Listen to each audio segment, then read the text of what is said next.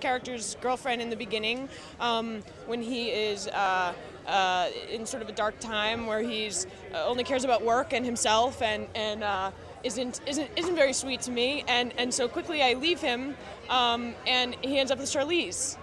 It was, a, I guess, it was a very tough relationship because he was uh, co- concentrating on work and money, right? Yeah, I mean, really, it, we just sort of set the scene for uh, where he begins, and and uh, um, I did uh, get to uh, be somewhat naked uh, shooting with him, and that uh, that was, that was that's really the highlight for me. Um, but uh, yeah, it sort of sets the scene of, of, of where he begins, and, and, and, and sort of you know where he's going to suggest where he might where he might get to by the end.